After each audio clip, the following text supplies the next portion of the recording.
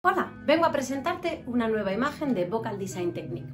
En esta ocasión, la imagen que hemos creado va a ayudaros a mantener vuestra caja torácica expandida y vuestras costillas abiertas mientras estáis cantando. Hay ocasiones en las que pensar mucho en el diafragma, qué hace, qué deja de hacer, cómo se mueve, cómo no, puede generar bloqueos. Por eso, dos imanes gigantes se sitúan a los lados de las costillas de nuestro simpático muñeco. Estos dos imanes se supone que están colocados con sus dos polos igual enfrentados, de tal manera que mm, se repelen. Pensar en esta sensación nos va a ayudar a mantener nuestras costillas bien separadas durante el mayor tiempo posible y de esta manera no dejar que nuestro diafragma vuelva a su posición original de manera muy brusca o muy rápida. Esto nos va a ayudar a tener un apoyo mejor, un sonido mucho más consistente y a que nuestros músculos intercostales se vayan fortaleciendo, de tal manera que al final se favorece nuestra capacidad torácica. Y hasta aquí nuestra explicación de este simpático muñeco. Esperamos sea de muchísima ayuda en vuestra aventura de ser cantantes. Nos vemos en la próxima.